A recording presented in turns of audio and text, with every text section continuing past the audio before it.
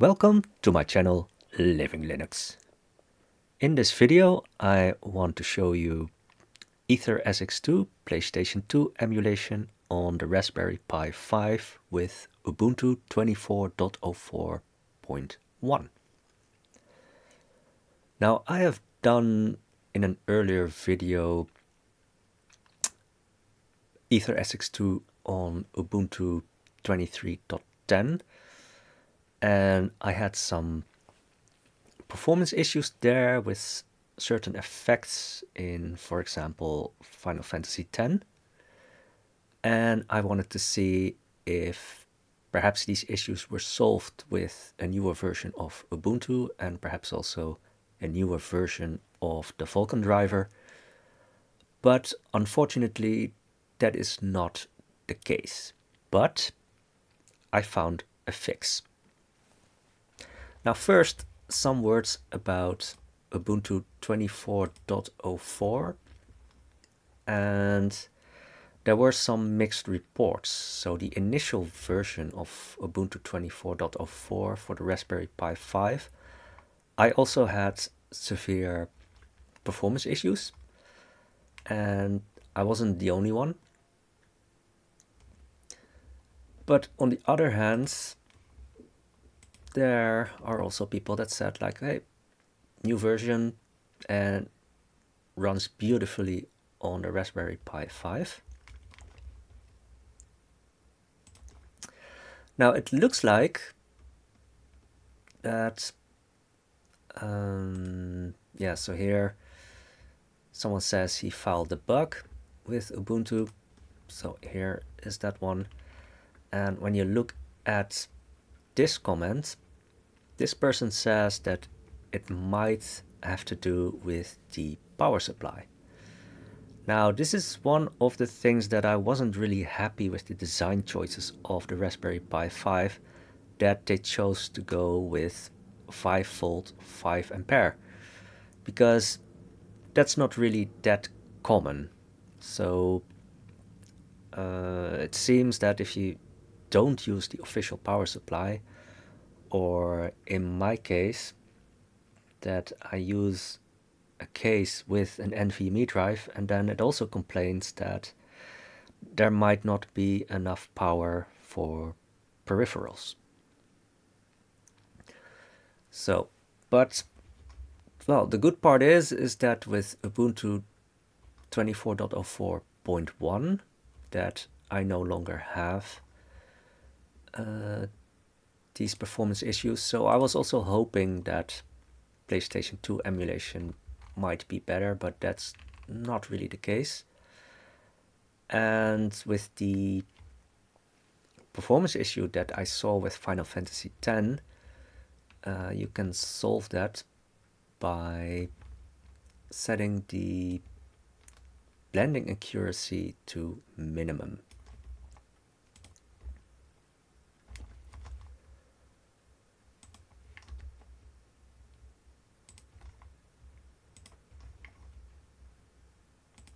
So if we start Final Fantasy X,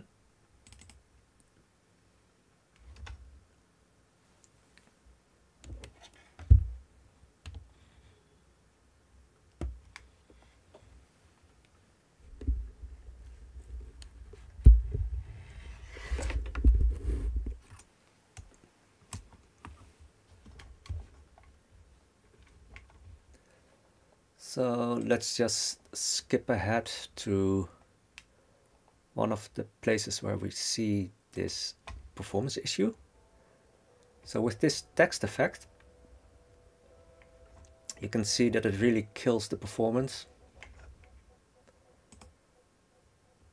But if we go to the settings and then set the blending accuracy to minimum, you can see that it no longer has a performance issue. Now the emulation accuracy, yeah, that might suffer a bit, but at least uh, things uh, become playable again.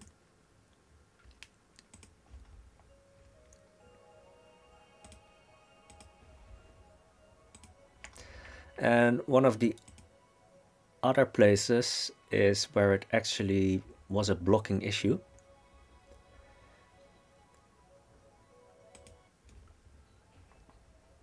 So this is very early in the game and that's where you can uh, put in your name.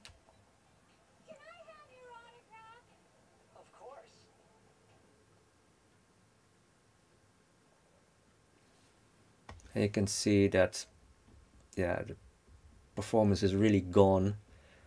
And, well, I guess that if you wait long enough, then you actually get to see the screen where you can input your name. Um, but even if you get to the screen, then I didn't, uh, it wasn't really responding to the controller anymore. Ah, well, here it is because I set the blending accuracy to minimum. And you can also see that uh, speed is normal.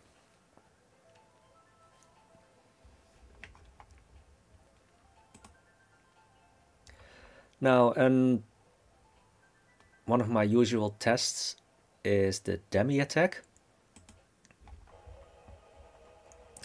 So I'm actually on the original PlayStation resolution.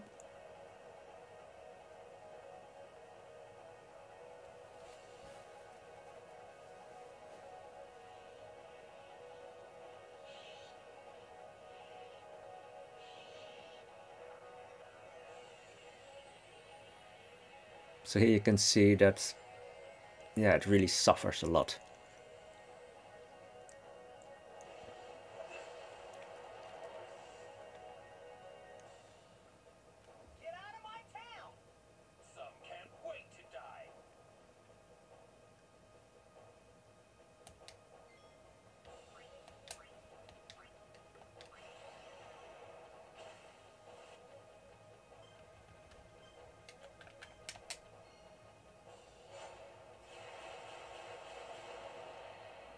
So this uh, was no problem.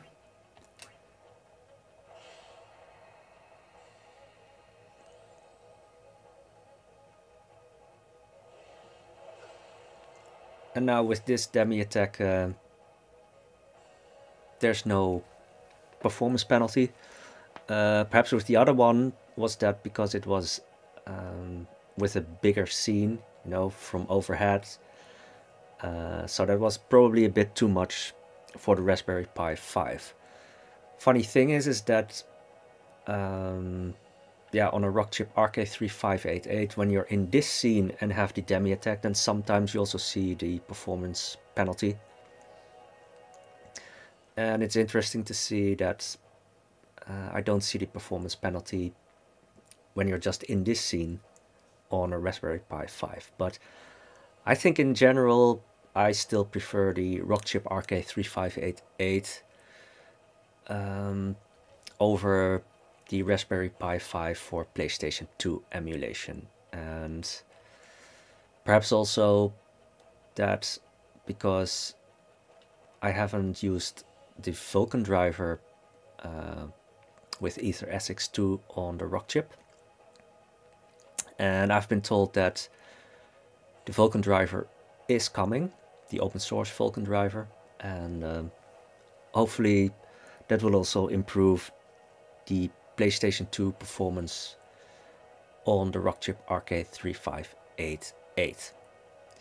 So yeah, if you don't overclock your Raspberry Pi 5, I'd recommend to keep the resolution at the original PlayStation 2 resolution and also that you lower the blending accuracy uh, unless you have a game that never runs into that issue then you might keep it at basic. So you can find it here second tab blending accuracy. So default is basic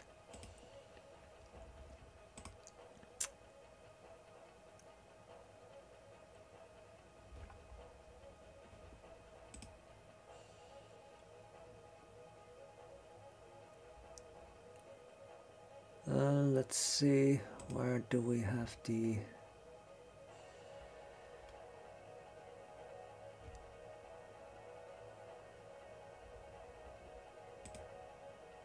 oh yeah here's the uh, resolution so I have it set it to native.